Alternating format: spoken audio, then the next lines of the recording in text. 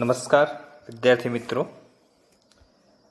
પ્રજનન યુનિટની અંદર અત્યાર સુધી આપણે અભ્યાસ કરી ગયા ચેપ્ટર વન અને ચેપ્ટર ટુ. ચેપ્ટર વન આપણે જોયું સજીવોમાં પ્રજનન, બરાબર? ત્યારબાદ ચેપ્ટર ટુની અંદર આપણે અભ્યાસ કર્યો સપુષ્પી વનસ્પતિઓમાં લિંગી પ્રજનન. અને ત્યારબાદ જોઈએ પ્રજનન યુનિટનું ત્રીજું ચેપ્ટર, માનવ પ્રજનન, બરાબર? સૌપ્રથમ વાત કરીએ કે મનુષ્યની અંદર પ્રજનનની ઘટનાઓ કયા ક્રમમાં થતી હોય છે? અને એના પહેલાં વાત કરીએ તો મનુષ્યનો સમાવેશ કયા પ્રાણીની અંદર થશે તે. બરાબર? તો આપણે જાણીએ છીએ કે મનુષ્ય જે છે, એક લિંગી પ્રાણી છે. જેની અંદર નર અને માદા બંને અલગ અલગ હોય છે. તો તેના કારણે લિંગી પ્રજનન પણ જે જોવા મળશે, નર પ્રાણીમાં અને માદા પ્રાણીમાં, તે પણ કેવા હશે? અલગ અલગ. અને બીજું, કેવું પ્રાણી છે? અપત્ય પ્રસવી એટલે શું થશે મિત્રો? ડાયરેક્ટ બચ્ચાને જન્મ આપશે. બરાબર? અંડપ્રસવી હતું શું થાત? ઈંડા જે છે મૂકે અને તેમાંથી પછી બચ્ચાનો જન્મ થાય. પણ અપત્ય પ્રસવી ડાયરેક્ટ જે છે શરીરમાંથી બચ્ચાનો જન્મ થતો જોવા મળશે, જેને આપણે વિવી પેરસ પણ કહીએ છીએ. હવે મનુષ્યની અંદર જે ક્રમાનુસાર ઘટનાઓ થતી હોય, એની આપણે વાત કરીએ તો સૌ પ્રથમ થાય છે જનન કોષોનું નિર્માણ, કે જે પ્રજનનની ક્રિયા માટે આવશ્યક છે. આના વગર જે છે પ્રજનનની ક્રિયા શક્ય નથી. તો પુરુષની અંદર વાત કરીએ તો શુક્રકોષ અને માદાની અંદર શું જોવા મળશે? અંડકોષ. બરાબર? શુક્રકોષો અંડકોષો નિર્માણ થવાની ક્રિયા જન્યુ જનન કહીએ છીએ, જે આપણે ચેપ્ટર એકની અંદર અભ્યાસ કરી ગયા. બરાબર? જન્યુ જનન એટલે શું થશે? જનન કોષોનું નિર્માણ થવું. શુક્રકોષ નિર્માણ થાય તો શુક્રકોષ જનન, અંડકોષ નિર્માણ થતા હોય તો અંડકોષ જનન.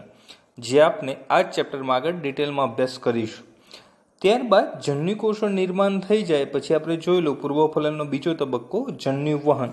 એટલે અહીંયા શુક્રકોષ ક્યાં જશે? માદાના જનન માર્ગમાં દાખલ થવાની ક્રિયા થશે, જે જન્યુ વહનનો તબક્કો છે. તો પહેલી બે ઘટનાઓ કહી શકીએ આપણે, પૂર્વફલન. ત્યારબાદ બીજો તબક્કો આવશે ફલન. જેની અંદર શું થતું? નર અને માદા જનન કોષોનું જોડાણ. બરાબર? તો મધ્ય તબક્કો ફલન અને ત્યારબાદ ત્રીજો તબક્કો જોઈ લો આપણે ફલિતાનનું નિર્માણ અને યુગ્મનનો વિકાસ, જે બંને કઈ ઘટનાઓ હતી? પશ્વફલન. બરાબર? તો ફલનની ઘટના થઈ.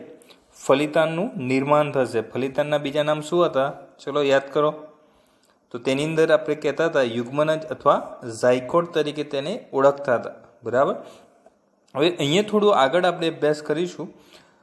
ફલિતાન નિર્માણ થયા પછી ગર્ભકોષ્ઠ કોથળીનું નિર્માણ થવું. બરાબર? ગર્ભ જે છે એ નિર્માણ થતાં પહેલાં અમુક કોષીય અવસ્થામાં હોય અને કોષીય અવસ્થા પછી તેના ફરતે એક આખી કોથળી જેવું નિર્માણ થશે, જેને ગર્ભકોષ્ઠ કોથળી તરીકે ઓળખવામાં આવે છે. અને જોડે જોડે તેનો વિકાસ થશે. ત્યારબાદ અવસ્થા જોવા મળશે. ગર્ભાશયની દિવાલ સાથે જોડાણ, જેને કહેવાય છે ગર્ભ સ્થાપન હવે મિત્રો, આ ચેપ્ટરની અંદર ત્રણ શબ્દો આપના માટે ખાસ અગત્યના થશે. ગર્ભ સ્થાપન ગર્ભધારણ અને ગર્ભ વિકાસ ધારો કે આ ગર્ભાશય છે, બરાબર? તો જે ગર્ભાશય જે હોય, એના સાથે ધારો કે આ ગર્ભ જે છે, જોડાય છે.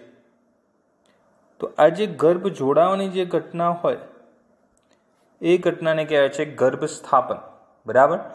ગર્ભ સ્થાપન થયા પછી તેની અંદર ગર્ભના ક્રમિક જે છે વિકાસની ઘટનાઓ જોવા મળશે, એટલે કે વિભાજન અને વિભેદન અવસ્થાઓ જોવા મળશે.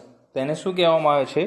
ગર્ભ વિકાસ અને આ ઘટનાઓ જે થતી હોય તે દરમિયાન માતાના શરીરના સમયગાળાને ધ્યાનમાં લઈ અને એ ઘટનાને કહેવાય છે ગર્ભધારણ.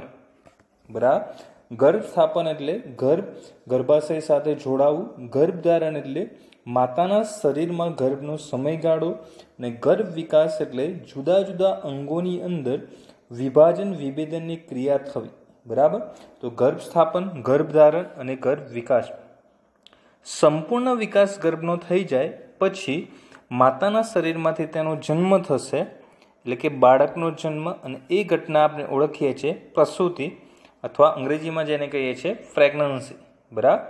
તો પ્રેગ્નન્સીની જે અવસ્થા હોય, તે એની અંદર આ બધા તબક્કાનો સમાવેશ થાય બાળકનો જન્મ. પણ મોટાભાગે પ્રસૂતિ શબ્દ આપણે બાળ પ્રસવની ક્રિયા માટે વધુ યુઝ કરીએ છીએ, બરાબર? તો બાળ પ્રસવ અથવા તેને પ્રસૂતિ અથવા પ્રેગ્નન્સી તરીકે ઓળખવામાં આવે છે. આ ઘટનાઓ જે છે, યૌવન આરંભ પછી થતી હોય છે. હવે યૌવન આરંભ એટલે શું? કે નર અને માદાની અંદર અથવા નર અને માદા એટલા સક્ષમ મેચ્યોર થઈ ગયા હોય કે જેની અંદર શુક્રકોષ પણ નિર્માણ થતા હોય અને અંડકોષ પણ નિર્માણ થતા હોય. ત્યારબાદ જ ફલન ફલિતાનના વિકાસની ઘટનાઓ જોવા મળે છે. એના વહેલા આ ઘટનાઓ થઈ શકતી નથી. એટલા માટે ખાસ અગત્યનું છે આ ઘટનાઓ જોવા મળે છે, યૌવન આરંભ અવસ્થા જે છે, થઈ જાય એના પછી, બરાબર? હવે નર અને માદાની અંદર પ્રજનની જે ઘટનાઓ હોય, તેની અંદર કેટલોક જે છે, તફાવત જોવા મળે છે. એ તફાત એ હોય છે કે જે નર હોય છે, એટલે કે વૃદ્ધ પુરુષ, તેની અંદર શુક્રકોષ નિર્માણ થવાની ક્રિયા, એટલે કે શુક્રકોષ જનન જે છે, એ લાઈફ ટાઈમ શરૂ રહે છે. બરાબર? પરંતુ માદાની અંદર અંડકોષ જનન એટલે અંડકોષ નિર્માણની ક્રિયા જે છે, પચાસ વર્ષની વય આસપાસ સ્થગિત થઈ જાય છે. હવે જો અંડકોષ જો નિર્માણ થતા નથી, તો ફલનની ઘટના થઈ શકવાની નથી. જો ફલન ન થાય, તો ફલિતાન નિર્માણ નહીં થાય અને ગર્ભ વિકાસ પણ થઈ શકશે નહીં એટલે બાળકનો જન્મ પણ થશે નહીં. તો આના પરથી આપણે કહી શકીએ કે પચાસ વર્ષની વય પછી માતા બનવું જે છે એ અશક્ય છે. પરંતુ અપવાદરૂપ કિસ્સાઓ એવા પણ નોંધાયેલા છે કે વધુ વયે પણ જે છે એ સ્ત્રી માતા બનતી હોય છે. પરંતુ એ માત્ર અપવાદરૂપ કિસ્સામાં. પણ મોટા ભાગે પચાસ વર્ષની વયે જે છે અંડકોષ નિર્માણની ક્રિયા સ્થગિત થઈ જાય. એટલે કે ઋતુચક્ર મેન્સ્ટ્રુએશન સાયકલ જે છે એ સ્ટોપ થઈ જતી હોય છે. તો આ બધી જ ઘટનાઓ જે છે, આપણે ડિટેલમાં આ ચેપ્ટરની અંદર અભ્યાસ કરવાનો છે. બરાબર? તો પૂર્વફલનની ઘટનાઓ, ફલનની ઘટનાઓ અને પશ્વફલન, જે આપણે ડિટેલમાં આગળ અભ્યાસ કરીશું. તો સૌ પ્રથમ હવે જોઈએ કયા કયા તંત્રો જે છે આવેલા છે. બરાબર? તો સૌ પ્રથમ આપણે અભ્યાસ કરીએ નર પ્રજનન તંત્ર. તો નર પ્રજનન જે છે સવિસ્તાર વર્ણવો અથવા તેના વિવિધ ભાગો આકૃતિ દોરી શુક્રોત્પાદક નલિકાઓ વર્ણવ. બરાબર? તો હવે સૌ પ્રથમ આકૃતિ પહેલાં આપણે એનું સ્થાનની વાત કરીએ કે જે નર પ્રજનન તંત્રમાં શુક્રપિંડનો જે સમાવેશ થતો હોય તે કઈ જગ્યાએ આવેલા હોય છે? હવે શુક્રપિંડ એક ગ્રંથિ તરીકે આપણે ધોરણ અગિયારની અંદર પણ અભ્યાસ કરી ગયા છે. બરાબર? પણ ત્યાં માત્ર એક અંતઃસ્ત્રાવી ગ્રંથિ તરીકે અભ્યાસ કરેલો, ટેસ્ટોસ્ટેરોન. પણ અહીંયા આપણે એની રચના પણ ડિટેલમાં સમજીશું. બરાબર? તો સૌ પ્રથમ હવે સ્ટાર્ટ કરીએ આપણે નર પ્રજનન તંત્ર. તો નર પ્રજનન તંત્રની અંદર વાત કરીએ, તો તે આવેલું હોય છે નિત્તમ પ્રદેશની અંદર. તો નિત્તમ પ્રદેશ એટલે કે જે કેડનો પ્રદેશ આપણે કહેતા હોઈએ છીએ. બરાબર? કમળનો પ્રદેશ. તો એ પ્રદેશની અંદર આપણે નિતમ મેખલા ભણેલા છે કે જ્યાં કરોડ સમજે છે, નીચે જોડાવાની રચના થતી બરાબર? તો એ જે નિતમ મેખલાવાળો જે પ્રદેશ હોય છે, એ જ ઓળખાય છે નિતમ પ્રદેશ તરીકે. તો નિતમ પ્રદેશમાં આખું નર પ્રજનન તંત્ર આવેલું હોય છે. તેની અંદર કોનો કોનો સમાવેશ થશે? તો શુક્રપિન ત્યારબાદ શુક્રપિનની એક જોડ સહાયક નલિકાઓ, ગ્રંથિઓ અને બાહ્ય જનનેન્દ્રિયો. બરાબર? અથવા જનન ઇન્દ્રિયોનો સમાવેશ થશે. તો સહાયક નલિકાઓ ભાગ ભજવશે ગ્રંથિઓ અને બાહ્ય જનન ઇન્દ્રિયો. બરાબર તો નિતમ પ્રદેશ અથવા પેલ્વિસ. હવે નીટની જે તૈયારી કરતા હોય એના માટે ખાસ અગત્યનું, આ ચેપ્ટરની અંદરથી અંગ્રેજી નામ પણ યાદ રાખવા એટલા જ અગત્યના છે બરાબર? કારણ કે અમુક શબ્દો જે છે આ ચેપ્ટરમાં ડાયરેક્ટ અંગ્રેજી નામ પરથી પૂછાતા હોય છે. તો એ પણ આપણે જોડે જોડે યાદ રહેતા રહીશું. બરાબર? તો હવે શરૂઆત કરીએ પ્રથમ શુક્રપિંડ. શુક્રપિંડને ટેસ્ટિસ તરીકે પણ ઓળખવામાં આવે છે. શુક્રપિંડનું સ્થાન થશે નરની અંદર ઉદર ગુહાની બહાર. બરાબર અંડપિંડ ક્યાં હોય? માદામાં ઉદર ગુહાની અંદર. પણ શુક્રપિંડ ક્યાં થશે? ઉદર ગુહાની બહાર. કેટલા હોય? એક જોડ. અને ઉદર ગુહાની બહાર કઈ રચનામાં? તો વૃષણ કોથળીમાં. આ જે રચના અહીંયા દેખાય છે. આ જે રચના દેખાય છે, આ બારણો ભાગ છે વૃષણ કોથળી અને એની અંદર જે છે, આ અંડાકાર જે રચના દર્શાવેલી છે, એ શું છે? શુક્રપિંડ. તો આખો આ જે પ્રદેશ કહેવાશે, નિતમ પ્રદેશ, તેની અંદર વૃષણ કોથળી, નીચેની તરફ અને વૃષણ કોથળીની અંદર આવેલા હોય છે શુક્રપિંડ. અહીંયા જે છે, આ જે ભાગ જે છે, એ કયો છે? શુક્રપિંડ, કે જે વૃષણ કોથળીની અંદર આવેલો છે. અને અંડાકાર રચના છે, બરાબર? હવે સામાન્ય રીતે જે શરીરનું તાપમાન હોય, એના કરતાં વૃષણ કોથળીનું જે તાપમાન હોય છે, તે શરીર કરતાં બેથી બે પોઈન્ટ પાંચ ડિગ્રી સેન્ટીગ્રેડ નીચું હોય છે. બરાબર? ધારો કે body temperature thirty seven degree centigrade છે, તો વૃષણ કોથળીનું તાપમાન જે છે, થર્ટી ફાઇવ ડિગ્રીની આસપાસ હશે. કેમ? આ આવું થવાનું કારણ એ છે, શુક્રકોષ જનનની ક્રિયા યોગ્ય રીતે થઈ શકે. એટલે કે જે શુક્રકોષ જે નિર્માણ થવા માટે શરીર કરતાં થોડુંક નીચું તાપમાન હોવું જરૂરી છે. એટલા માટે વૃષણ કોથળીનું જે તાપમાન હોય, તે સામાન્ય શરીરના તાપમાન કરતાં બેથી બે પોઈન્ટ પાંચ ડિગ્રી સેન્ટીગ્રેડ નીચું જોવા મળે છે. બરાબર? શુક્રપિંડના આકારની વાત કરીએ તો આકાર જોવા મળશે. અંડાકાર, જે હમણાં આપણે આકૃતિમાં જોયું, લંબાઈ હોય ચારથી પાંચ સેન્ટીમીટર. અહીં તમે આકાર જોઈ શકો છો કે શુક્રપિંડનો આકાર છે અંડાકાર, લંબાઈ જોવા મળે ચારથી પાંચ સેન્ટીમીટર. આ જે ઊભી રચના જે જોવા મળશે, ઊભી, બરાબર? ચારથી પાંચ સેન્ટીમીટર. અને આ જે છે પહોળાઈ કહી શકીએ બેથી ત્રણ સેન્ટીમીટર જેટલી જોવા મળે છે. તો લંબાઈ ચારથી પાંચ સેન્ટીમીટર અને પહોળાઈ કેટલી થશે? બેથી ત્રણ સેન્ટીમીટર આખું શુક્રપિંડ જે છે, એટલે કે દરેક શુક્રપિંડ, જે બે શુક્રપિંડ હોય, એ બંને સઘન આવરણ વડે આવરિત હોય છે. આમ તો જે આવરણ જે હોય છે, તેને કહેવાય છે ટ્યુનિકા આલ્બુજીનિયા. બરાબર? તો સઘન આવરણ વડે આવરિત હોય, જે કહેવાય છે ટ્યુનિકા આલ્બુજીનિયા તરીકે. હવે દરેક શુક્રપિંડ જે હોય, એ આશરે બસો પચાસ ખંડો ધરાવે છે, જેને શુક્રપિંડીય ખંડિકાઓ અથવા ટેસ્ટિક્યુલસ લોબ્યુલ્સ તરીકે ઓળખવામાં આવે છે. અહીંયા જોઈએ આકૃતિમાં. તો જો અહીંયા જે છે, આ શુક્રપિંડનો છેજ બરાબર, આ શુક્રપિંડનો ભાગ છે આખો. ને એની અંદર જે આ ખંડ દેખાય છે, એક, બે, ત્રણ, ચાર, પાંચ, છ, સાત, આઠ, નવ જેટલા ખંડ. તો એ જે છે, ઓળખાય છે શુક્રપિંડ ખંડિકાઓ તરીકે. બરાબર? શુક્રપિંડ પછી જોઈએ શુક્રોત્પાદક નલિકાઓ. હવે મિત્રો, અહીં નામ પરથી જ આપણને થોડો આઈડિયા આવો જોઈએ કે કાર્ય શું હશે. તો શુક્રકોષોનું ઉત્પાદન કરતી નલિકાઓ. એટલા માટે નામ શું છે? શુક્રોત્પાદક નલિકાઓ અથવા સેમિનિફેરસ ટ્યુબ્યુલ્સ તરીકે જેને ઓળખવામાં આવે છે. હવે, આપણે શુક્રપિંડની રચના જોઈ, તેની અંદર જોયેલું કે અનેક જે છે, શુક્રપિંડ ખંડિકાઓ આવેલી હતી. બરાબર? આ રીતની અનેક જે છે, શુક્રપિંડ ખંડિકાઓ હાજર હતી. હવે જે પ્રત્યેક શુક્રપિંડ ખંડિકા હોય, તેની અંદર એકથી ત્રણ જેટલી ખૂબ જ ગૂંચળામય નલિકાઓ જે હાજર હોય તેને કહેવાય છે શુક્રોત્પાદક નલિકાઓ. બરાબર?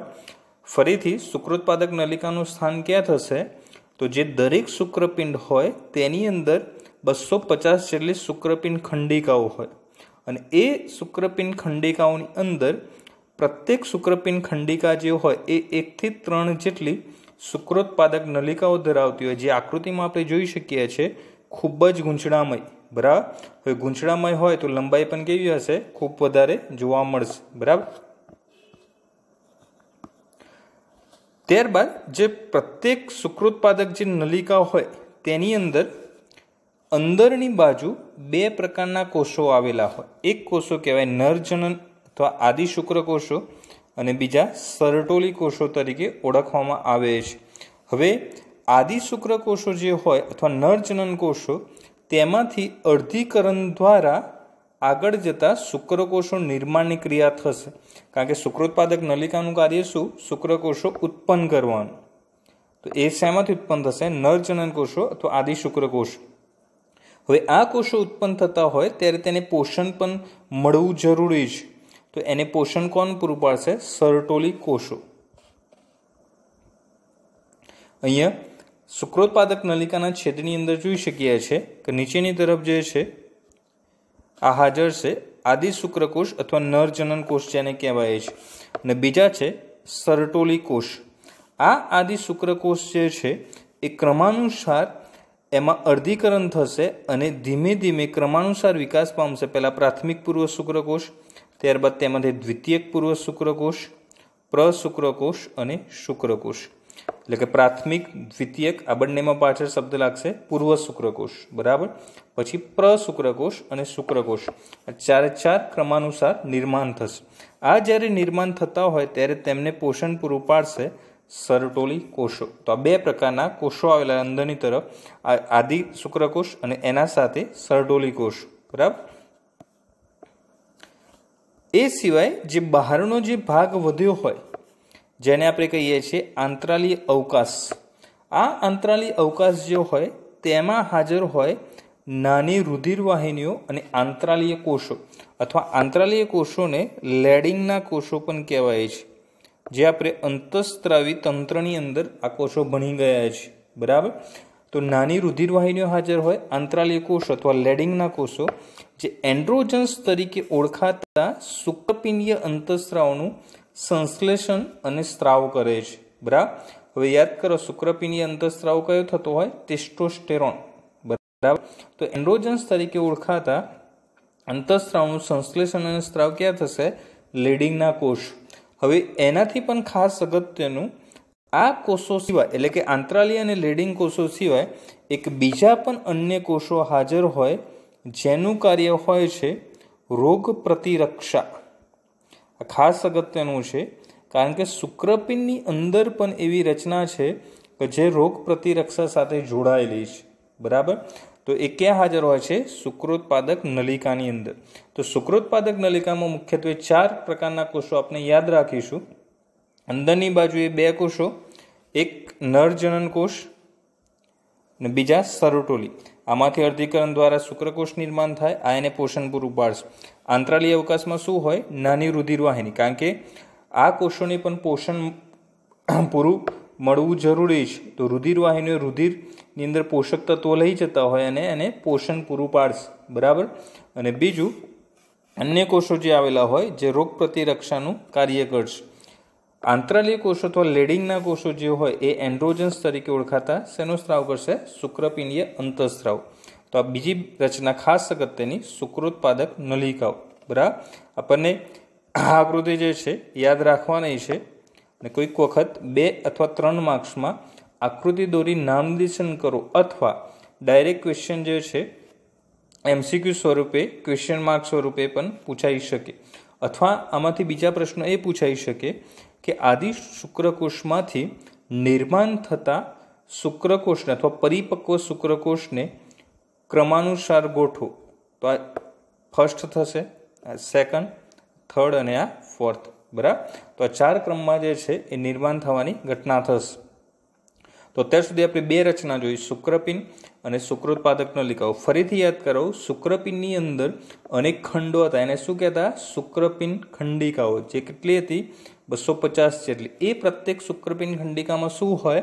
કે એકથી ત્રણ જેટલી શુક્રોત્પાદક નલિકાઓ, અને એ પણ કેવી છે? ખૂબ જ કુંજળામય એટલે લંબાઈ કેવી જોવા મળશે? વધુ જોવા મળતી. એની અંદર અહીં ચર્ચા કરી તેવા ચાર પ્રકારના કોષ. બરાબર? ત્યારબાદ ત્રીજા ક્રમે આવશે સહાયક નલિકાઓ. સહાયક નલિકાઓની અંદર મુખ્યત્વે ચાર બાબતોનો સમાવેશ થાય છે. વૃષણજાળ અથવા રેડ ટેસ્ટિસ તરીકે જેને ઓળખવામાં આવે છે. શુક્રવાહિકાઓ વાઝા એફ્રેન્સિયા અધિવૃષણ નલિકા એપિડીડાયમિસ અને શુક્રવાહિની વાસ ડેફરન્સ આપણે વાસ ડેફરન્સ અને વાસ એફ્રેન્સિયા વાઝા એફ્રેન્સિયા બંને અંગ્રેજી શબ્દો ખાસ એમાં શુક્રવાહિની ખાસ યાદ રાખીશું વાસ ડેફરન્સ એટલા માટે કે ચેપ્ટર ચારની અંદર એક વંધીકરણની ટેકનિક આવશે વાઝેક્ટોમી તો વાઝેક્ટોમી શબ્દ જે છે એ શેના પરથી આપેલો છે? Vas deferens. જેની અંદર શુક્રવાહિની ઉપર ક્રિયા થતી હોય છે એને બાંધવામાં આવે, કટ કરવામાં આવે અથવા કટ કરીને બાંધી દેવામાં આવે. જેનાથી શુક્રકોષો આગળ વહન પામી શકશે નહીં. તો વાસ ડેફરન્સ શબ્દ શુક્રવાહિની માટે વપરાય છે અને એના પરથી ટેકનિક છે વાસેક્ટોમી. બરાબર? તો સહાયક નલિકાઓની અંદર ચાર છે જે વારા પરથી સમજીએ. સૌ પ્રથમ જે વૃષણઝાડ જે હોય, એ વૃષણ ઝાડનું કાર્ય હોય છે શુક્રોત્પાદક નલિકાઓ અને શુક્રવાહિકાને જોડવાનું. શા માટે? કારણ કે જે શુક્રોત્પાદક નલિકામાં જે શુક્રકોષો ઉત્પન્ન થયા, એ કોના મારફતે શુક્રવાહિકામાં આવશે? તો વૃષણ ઝાડ મારફત. બરાબર? હવે શુક્ર વાહિકા ક્યાં છે તે જોઈએ.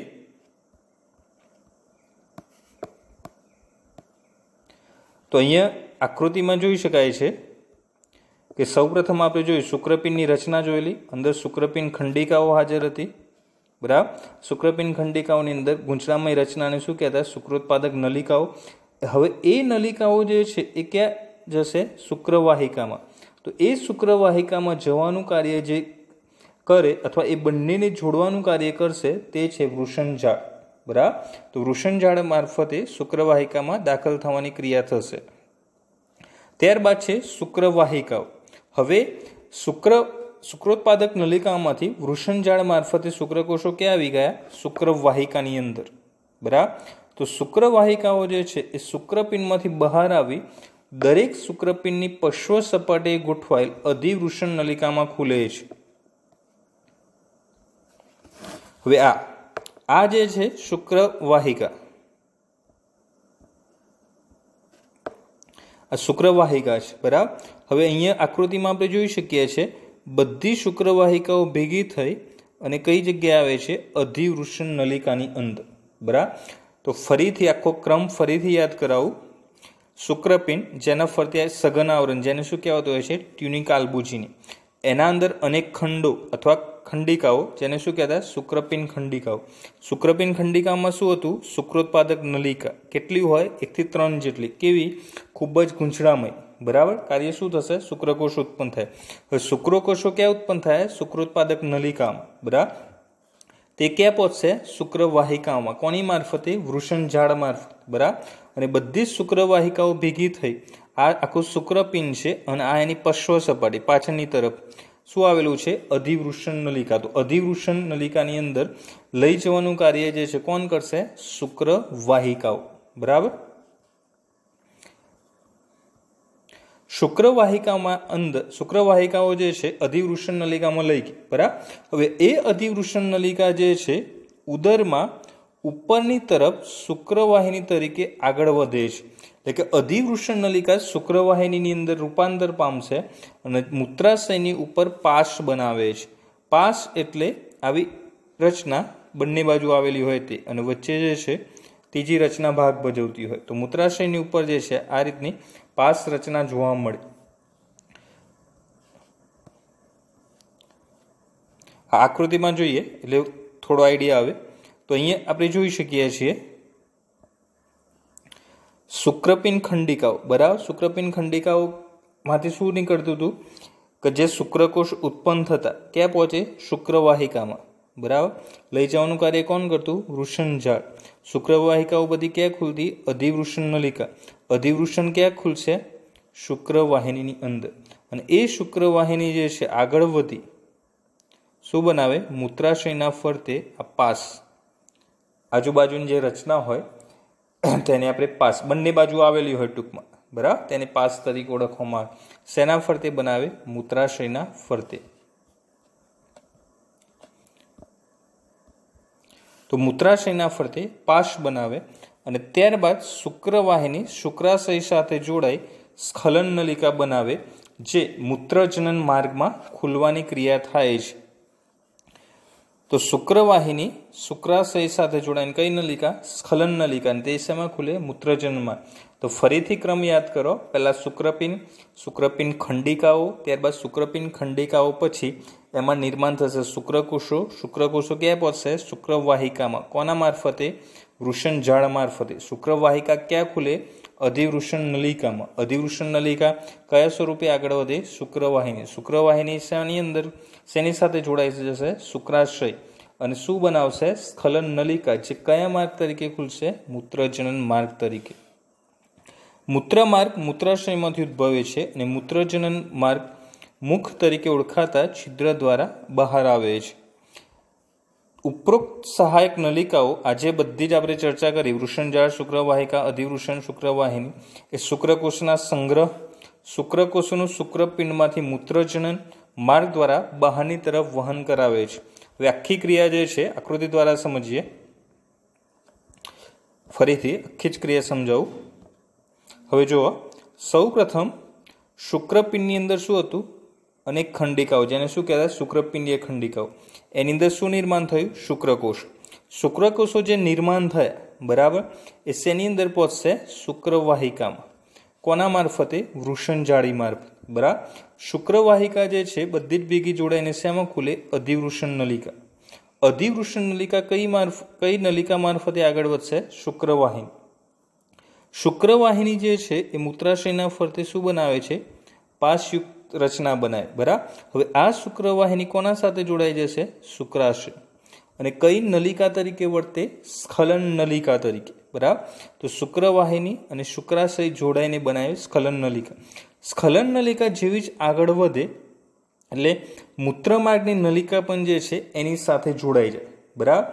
જે મૂત્રાશયમાંથી જે છે, નીકળવાની ક્રિયા થતી હોય. તો મૂત્ર માર્ગ તરીકે ઓળખાશે, સોરી સ્ખલન નલિકા સાથે મૂત્રવાહિની જોડાવાની ક્રિયા થાય, જે ઓળખાય મૂત્ર માર્ગ તરીકે. હવે નરની અંદર મૂત્રવાહિની અને સ્ખલન નલિકા દ્વારા શુક્રકોષોનું વહન થતું રચના એક જ હોય છે, જેને આપણે મૂત્રજનન માર્ગ કહીએ. શા માટે? કારણ કે મૂત્રજનન શબ્દની અંદર જ બે તંત્ર જોડાયેલા છે. મૂત્ર શબ્દ એટલે જોડાયેલો છે ઉત્સર્જન સાથે અને જનન શબ્દ નિર્માણ સાથે. બરાબર? જેને સંયુક્ત રીતે મૂત્રજનન માર્ગ તરીકે ઓળખવામાં આવે છે. તે આગળ જતાં મૂત્રનું પણ વહન કરે અને શુક્રકોષના વહન માટે પણ જવાબદાર છે. તો આખો સમગ્ર ક્રમ થયો. બરાબર? તો ખાસ યાદ રાખવાનો, પહેલાં શુક્રપિન અંદર શુક્રપિન ખંડિકાઓ, તેમાં શુક્રકોષો નિર્માણ થાય તે શુક્રવાહિકાની અંદર પહોંચે. કોના મારફતે? વૃષણ જાળી મારફતે. શુક્રવાહિકાઓ ભેગી થઈને શેમાં ખુલે? અધિવૃષણ નલિકા. અધિવૃષણ નલિકા પશ્વ સપાટીએ વીંટળાયેલી હોય. શુક્રવાહિની તરીકે આગળ વધે અને એ શુક્રવાહિની શુક્રાશય સાથે જોડાય, સ્ખલન નલિકા, તેના સાથે મૂત્રવાહિની જોડાય, જે સંયુક્ત રીતે મૂત્ર માર્ગ તરીકે આપણે ઓળખીએ છીએ. આમ હકીકતમાં હવે મૂત્રજનન માર્ગ, કારણ કે મૂત્ર અને જન્યુ બંનેનું વહન થતું હોય. અને ત્યારબાદ જોઈએ શિષ્ણની રચના. શિષ્ણ જે અગ્રભાગે આવેલું હોય, એ નરનું બાહ્ય જનનાંગ છે, જે પેનેસ તરીકે ઓળખવામાં આવે છે. વિશિષ્ટ પેશીઓનું બનેલું હોય, તે ઉત્થાન અને વીર્યદાન માટે સાનુકૂળતા કરી આપે છે. વીર્યની અંદર હાજર હોય શુક્રકોષો, બરાબર?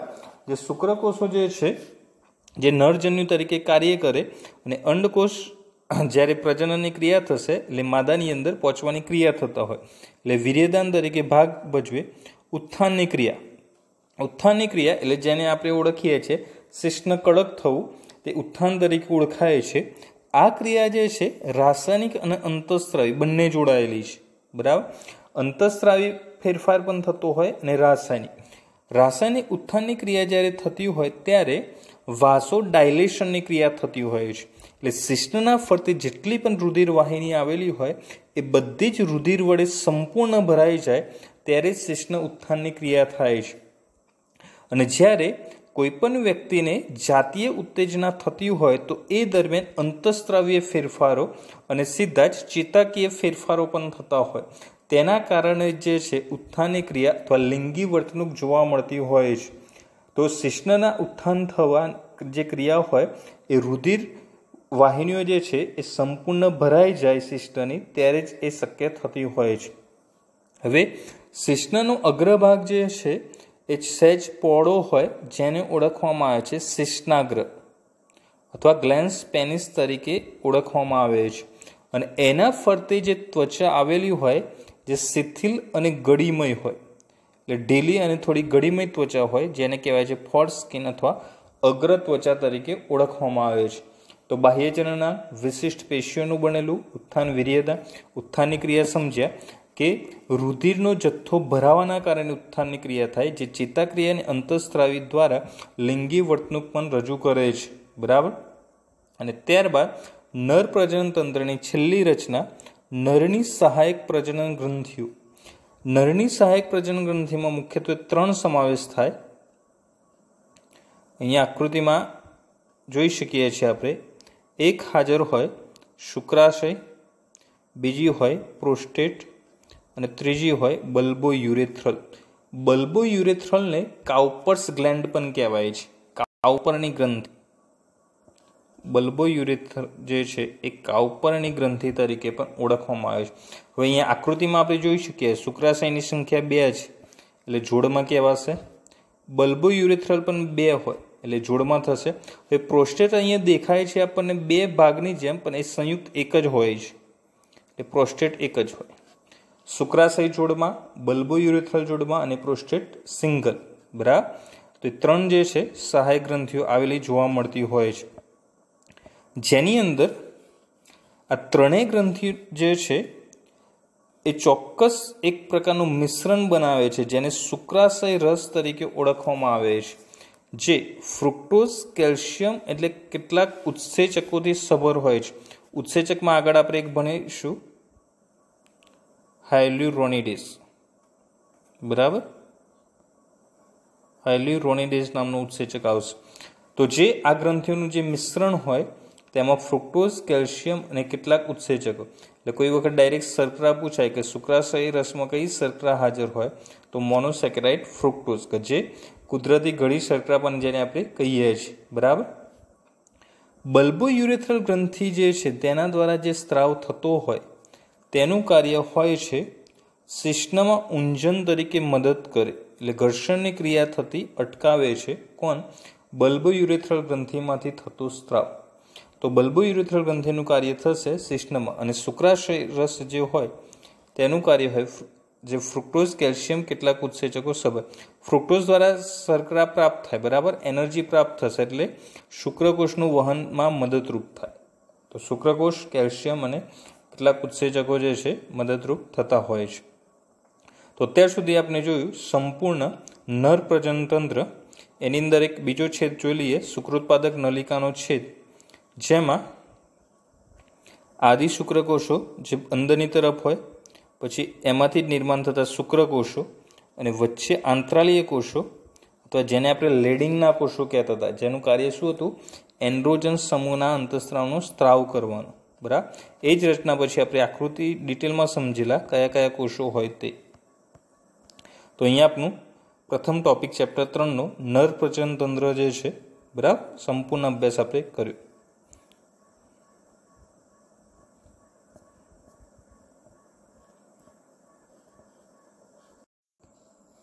મનુષ્ય એકલિંગી અને અપત્ય પ્રશ્વી પ્રાણી છે, જેમાં નરમાં બાહ્યચરણના અંગ તરીકે શિશ્ન હાજર હોય છે, જ્યારે માદામાં વુલ્વા નામની રચના જોવા મળે છે. નરની અંદર શુક્રપિન આવેલા હોય, જે નર જાતિ અંતઃસ્ત્રાવનો સ્ત્રાવ કરે છે. જ્યારે માદાની અંદર અંડપિંડ આવેલા હોય, જે માદા જાતીય અંતઃસ્ત્રાવનો સ્ત્રાવ કરે છે. નર પ્રજનન તંત્રની વાત કરીએ, તો તેની અંદર તે આવેલો હોય છે, નિતમ પ્રદેશની અંદર. બરાબર? નિતમ પ્રદેશમાં આવેલી મુખ્ય રચના હોય નરપ્રજન તંત્રની તો તે છે શુક્રપિંડ શુક્રપિંડ જે હોય છે, તે ઉદર ગુહાની બહાર આવેલા હોય છે અને ઉદર ગુહાની બહાર વૃષણ કોથળીની અંદર રક્ષાયેલા હોય છે. બરાબર? એના ફરતે આવરણ હોય એ સઘન આવરણ જોવા મળતું હોય છે. વૃષણ કોથળી જે છે, એ શિષ્ણ અને મૂત્રમાર્ગની વચ્ચે હોય શુક્રપિંડ જે હોય છે તે આકારની અંદર વાત કરીએ તો જોવા મળતા હોય છે અંડાકાર તરીકે, બરાબર?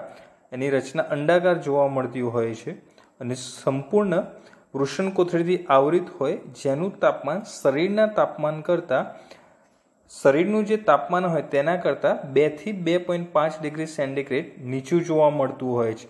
જેના કારણે શુક્રકોષ જનનની ક્રિયા સરળતાથી થઈ શકે. અંડાકાર આકારના શુક્રપિંડની લંબાઈ હોય ચારથી પાંચ સેન્ટીમીટર અને પહોળાઈ બેથી ત્રણ સેન્ટીમીટર જેટલી જોવા મળતી હોય છે. અને તે સઘન આવરણ ધરાવતા હોય છે, જે મોટાભાગે બનેલું હોય છે ટ્યુનિકા આલ્બુજેનિયાનું. બરાબર? તો ટ્યુનિકા આલ્બુજેનિયાનું આવરણ બનેલું જોવા મળતું હોય છે. પ્રત્યેક શુક્રપિંડની અંદર બસો પચાસ જેટલી શુક્રપિંડ ખંડિકાઓ આવેલી જોવા મળતી હોય છે. બરાબર? અહીં આકૃતિમાં જોઈ શકીએ છીએ શુક્રપિંડ ખંડિકાઓ.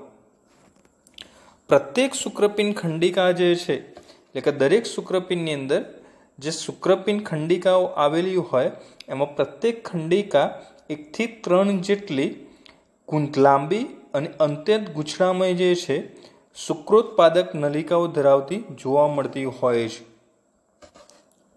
આ શુક્રોત્પાદક નલિકાની રચનાની વાત કરીએ, તો અંદરની તરફ બે પ્રકારના કોષો આવેલા જોવા મળતા હોય છે. એક કોષો ઓળખીએ છીએ, જનન કોષો અથવા આદિ શુક્રકોષ તરીકે અને બીજા હોય સરટોલી કોષો.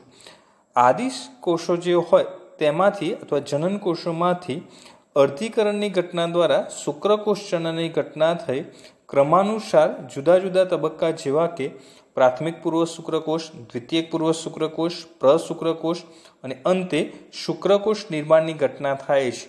અને આ નિર્માણની ઘટના દરમિયાન તેની જોડે રહેલા સરટોલી કોષો જે હોય છે, તેને પોષણ પૂરું પાડવાનું કાર્ય કરે છે. આ ઉપરાંત આંતરાલીય અવકાશ જે હોય છે, તેની અંદર નાની રુધિર વાહિનીઓ આવેલી હોય છે, ચેતાતંતુ આવેલા જોવા મળતા હોય છે, બરાબર? અને આ ઉપરાંત ચોક્કસ પ્રકારનો અંતઃસ્ત્રાવનો સ્ત્રાવ કરતા કોષો, આંતરાલીય કોષો અથવા લેડિંગના કોષો આવેલા હોય, જે એન્ડ્રોજન્સ સમૂહના અંતઃસ્ત્રાવનો સ્ત્રાવ કરે છે. બરાબર? જે ટેસ્ટોસ્ટેરોન ઉદ્ભવ માટે જવાબદાર હોય છે. આ ઉપરાંત ત્યાં એક ખાસ અગત્યના અન્ય કોષો પણ આવેલા હોય છે, જે રોગ પ્રતિકારકતા સાથે જોડાયેલા જોવા મળતા હોય છે.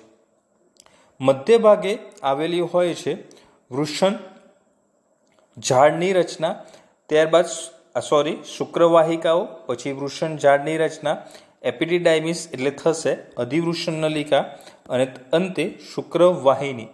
તો અહીંયા આકૃતિમાં જોવા મળતી ચાર રચનાઓ સહાયક નલિકાઓ તરીકે ઓળખવામાં આવે છે. જેની અંદર શુક્રવાહિકા જે છે, એ શુક્રોત્પાદક નલિકામાં જે શુક્રકોષો ઉત્પન્ન થયા હોય, તેને આગળ લઈ જવાનું કાર્ય કરશે. એટલે કે વૃષણઝાડમાં મોકલશે. વૃષણઝાડ શું કરશે? તો શુક્રવાહિકા અને અધિવૃષણ નલિકાને જોડવાનું કાર્ય કરે છે. એટલે કે શુક્રવાહિકામાંથી શુક્રકોષો અધિવૃષણ નલિકામાં જવાની ઘટના થશે. લાંબી અને થોડીક નીચેથી સાંકડી રચના અધિવૃષણ નલિકાની જોવા મળે, જે શુક્રપિંડની પશ્વ સપાટી, મુખ્યત્વે તેમાં ત્રણ ભાગમાં તે વિભાજિત થયેલી જોવા મળતી હોય છે. તેમાં અગ્રભાગ જે હોય છે એ ઓળખાય છે કેપટ એપિડિડાયમિસ, ત્યારબાદ મધ્ય ભાગ કોર્પસ એપિડિડાયમિસ અને પશ્વ ભાગ જે હોય છે તે ઓળખાય છે, કોડા એપિડિડાયમિસ તરીકે ઓળખાય છે. જેમાં કેપટ એપિડિડાયમિસની અંદર શુક્રકોષો જે છે ત્યાં પોષણ મેળવે છે અને થોડાક વિકાસ પામવાની ઘટના થતી જોવા મળે છે. આ અધિવૃષણ નલિકા શુક્રવાહિની મારફતે આગળ વધે છે અથવા ત્યાં ખુલે છે. ત્યાં મૂત્રવાહિની અને મૂત્રાશય સાથે જોડાવાની ક્રિયા થતી હોય છે. એ શુક્રવાહિની મૂત્રાશયના બાજુ પાશ બનાવતા જોવા મળે છે. જે શુક્રાશય અને આવેલું હોય છે મૂત્રમાર્ગ મારફતે તે આગળ વધશે. યુરિનરી બ્લેડર, જે આપણે મૂત્રાશય તરીકે ઓળખીએ છીએ. પ્રોસ્ટેટ ગ્લેન, ત્યારબાદ મૂત્રમાર્ગ જે છે, તેના મારફત એ શુક્રકોષનું વહન થતું હોય છે. મૂત્રમાર્ગ દ્વારા મૂત્રનું પણ વહન થતું જોવા મળે, જે છિદ્ર મારફતે આગળ વહન થાય છે એટલા માટે આ માર્ગને મૂત્રમાર્ગ અથવા મૂત્રજનન માર્ગ તરીકે પણ ઓળખવામાં આવે છે. બરાબર આ સિવાય અગત્યનું કે જે શુક્રવાહિની જે હોય છે તે, ખાસ કરીને મૂત્રાશય સાથે, આ શુક્રાશય સાથે જોડાઈને, શુક્રવાહિની શુક્રાશય સાથે જોડાઈને સ્ખલન નલિકાનું નિર્માણ કરતી જોવા મળે છે. અન્ય સહાયક ગ્રંથિની વાત કરીએ, તો ત્યાં હાજર હોય છે શુક્રાશય જે જોડમાં આવેલા હોય છે. પ્રોસ્ટેટ જે એક જ હોય અને જોડમાં બલ્બો યુરેથ્રલ ગ્રંથિ આવેલી જોવા મળતી હોય છે. બરાબર? જેમાં શુક્રાશય અને બલ્બો યુરેથ્રલ ગ્રંથિ જે છે, એ જોડે ગોઠવાયેલી હોય, પ્રોસ્ટેટ ગ્રંથિ સિંગલ સ્વરૂપે જોવા મળતી હોય છે. બલ્બો યુરેથ્રલ ગ્રંથિ મૂત્રાશયની જોડે થોડો અગ્રભાગે કહી શકીએ અને તેમાંથી જે સ્ત્રાવ થાય, ખાસ કરીને કેલ્શિયમનો જે સ્ત્રાવ થાય, એ મૂત્ર માર્ગે આગળ વધતો હોય છે. આ ઉપરાંત પ્રોસ્ટેટ ગ્રંથિ જે સિંગલ રચના ધરાવતી હોય છે. પહેલાં વાત કરીએ બલ્બો યુરેથ્રલ ગ્રંથિ, જે જોડમાં આવેલી હોય છે, બરાબર? હવે એ સામાન્ય રીતે હોય છે પોસ્ટેટ ગ્રંથની નીચેની તરફ પશ્વ ભાગે આપણે કહી શકીએ. અને પેનિસથી થોડાક ઉપર શિશ્નથી ઉપરના ભાગે, જેમાંથી સ્ત્રાવ થતો હોય છે, મુખ્યત્વે સાઇટ્રેટ અને ફોસ્ફેટનો, જે આગળ વધવા મદદરૂપ થાય. જ્યારે બલ્બો યુરેથ્રલમાંથી સ્ત્રાવ થતો હોય, ફ્રુક્ટોઝ જે ખાસ કરીને તેને ઊર્જા પૂરું પાડવાનું કાર્ય કરતી હોય છે. આ ઉપરાંત બલ્બો યુરેથ્રલ ગ્રંથિ જે આવેલી હોય છે, જેને આપણે કાવપણની ગ્રંથિ પણ કહેતા હોઈએ છીએ, તો એ કાવપણની ગ્રંથિમાંથી જે સ્ત્રાવ થાય, એ પ્રજનનની ક્રિયા દરમિયાન ઘર્ષણ નિરોધક તરીકે કાર્ય કરે છે. મનુષ્યના નર જનનની વાત કરીએ તો તે હોય છે શિષ્ણ કે જે થોડુંક એની અંદર ઉત્થાનની ક્રિયા થતી હોય અને વિરેદાની ક્રિયા માટે તે અગત્યનો ભાગ ભજવે છે. બરાબર? તેની જે ત્વચા જે હોય છે, થોડી શિથિલ જોવા મળતી હોય છે અને શિષ્ણના અગ્રભાગની જે ત્વચા હોય, તે અગ્ર ત્વચા તરીકે અથવા ફોર સ્કિન અને અંદરની તરફ બે પેશીઓ આવેલી હોય છે કોર્પોરા કાવેરસોના અને કોર્પસ પોન્જિયોસમ એ બે તેની આંતરિક રચનાની અંદર જોવા મળતી હોય છે. શિષ્ણના ઉત્થાનની ક્રિયા દરમિયાન નરજન્યુનો ત્યાગ થાય ઉત્થાનની ક્રિયા થાય, પછી પ્રજનનની ક્રિયા દરમિયાન નરજન્યુનો ત્યાગ જે છે, માદા શરીરમાં થશે ત્યારબાદ ફલનની ઘટના થતી હોય છે.